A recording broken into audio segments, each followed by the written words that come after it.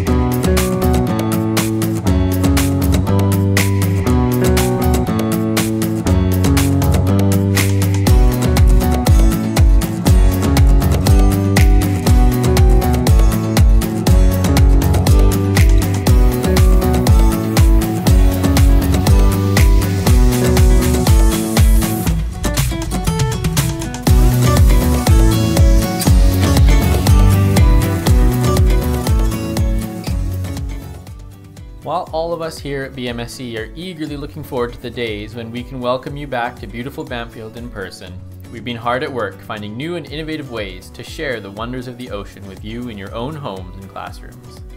Last fall, the BMSC Live team live streamed 18 virtual field trips and labs to over 550 students, ranging from grade 4 up to third year university.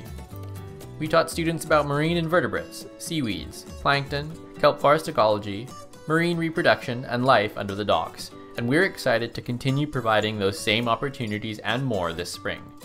Check out the BMSC Live page on our website by clicking on the link in the video description below to find out more about the live and interactive virtual field trips and labs we can offer you at this time.